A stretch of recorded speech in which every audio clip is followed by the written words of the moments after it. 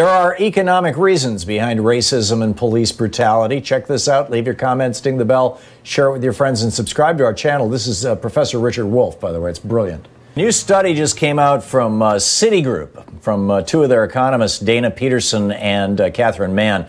And what they found was that since the year 2000, the U.S. gross domestic product, the U.S. GDP, has lost $16 trillion purely and exclusively as a result of anti black discrimination in the United States. Uh, this is a quote from their from their study. The analysis in the report that follows shows that if four key racial gaps for blacks, wages, education, housing, and investment, had been closed 20 years ago, 16 trillion dollars could have been added to the U.S. economy.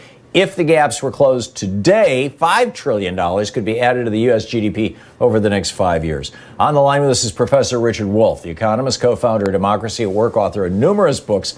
Uh, his latest, The Sickness is the Symptom when a uh, system, excuse me, when capitalism fails to save us from pandemics or itself, democracyatwork.info, the website, and rdwolff with two F's.com, and you can tweet him at Prof. Wolff.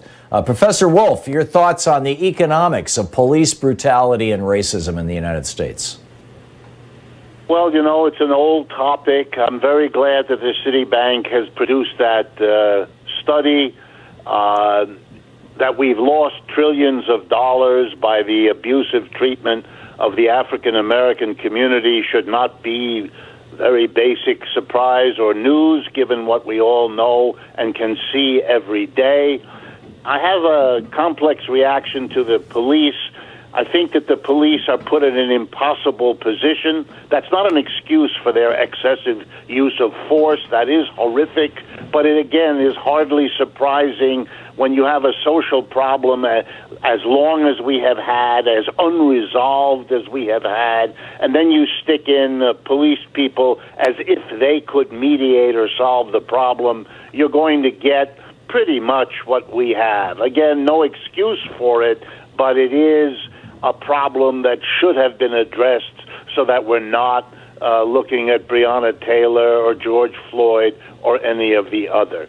Let me, however. So, would, would another way of saying that uh, be to say that if you're going to have a repressive system, if you're going to intentionally construct a system, as we have done in the United States, right up to this day, it has uh, diminished in degrees over the years, obviously, but right up to this day, if you're going to have a system that systematically exploits, oppresses, and basically steals from a, a certain class of people, you're going to have to have a police state to enforce that. And when you create the police state, it's not the individual police who are responsible for the police state. They're the ones executing it. it, it it's like you know the, the German soldiers in World War II, uh, you know, weren't the weren't the bad guys. It was Hitler. Is that the kind of argument that you're making here?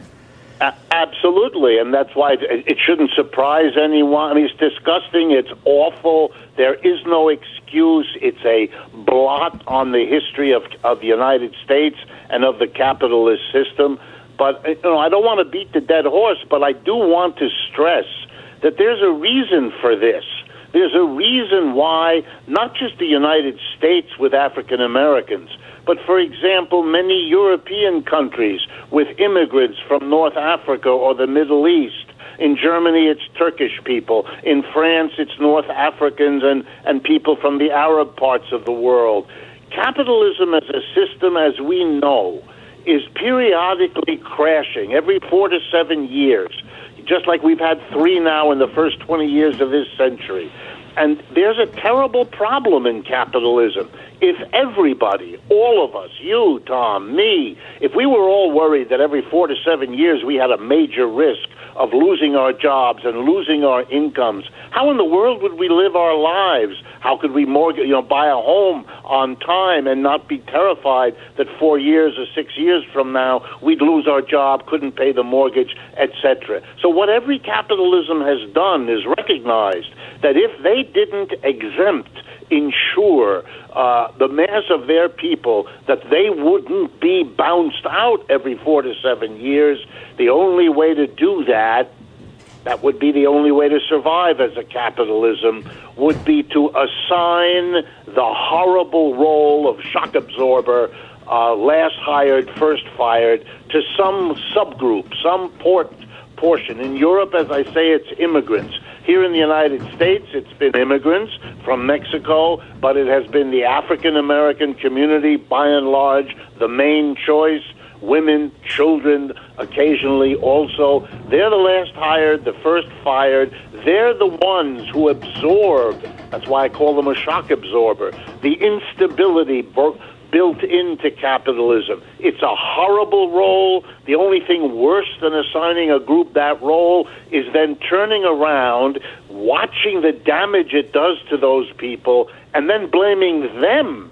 It's a little bit like blaming the victim of a sexual assault because her skirt was too short or her blouse was too tight. I mean, I thought we had gotten beyond it, but watching the hysterical playing out of yet more oppression of the African American community really makes you wonder whether people can learn from their history or are forever condemned to repeat it. Yeah, and and now the most recent story is you know this is all Breonna Taylor's fault because she had the bad judgment to date to previously date a guy and then break up with a guy who was involved in in uh, dealing drugs, which is absurd. I mean, you know, it's it's absurd at at every conceivable level. Um, uh, it's just it's just absolutely breathtaking. So, to what extent is it even possible to extract racism and and and its its steps stepchild? I, I suppose you could call it uh, classism. Uh, correct me if I'm you know using a word poorly from capitalism in this country. Well, I think you know. Before answering, I think the, the importance of the Citibank report is to let the, the white people of America know that to allow a system to so abuse our black brothers and sisters is extremely expensive for us. However much it violates whatever Christian or other morality we pretend we have, or whatever ethics we believe we have, mistreating our fellow citizens is also a tremendous loss for us. So the only beneficiaries are the capitalist system because the whites don't protest the way they would in other countries because they have been exempted from this instability. What to do about it? Look, it's always been a simple issue if you face it. Give every citizen, white or black, male or female, a job. Give them a decent job. Give them a decent income. There's more than enough work that needs to be done. If the private capitalist sector can't do it, the government surely can. Uh, and that's what we ought to do. And if everybody had a job and had a secure income and could build their lives around those fundamentals, we would not be in the position of needing a repressive police force in the first place. So, how do we do that during a pandemic? We have 45 seconds. We do it because it's even more urgent in the pandemic than it was before. That this notion of, of quote, going back to normal, this fantasy which we can't do, could at least lead us to understand do something in the midst of this catastrophe so that you're at least ahead of the game and not going back to what you know led both to the failure to prepare, prepare for the pandemic and the failures of George Floyd and Breonna Taylor and all the rest.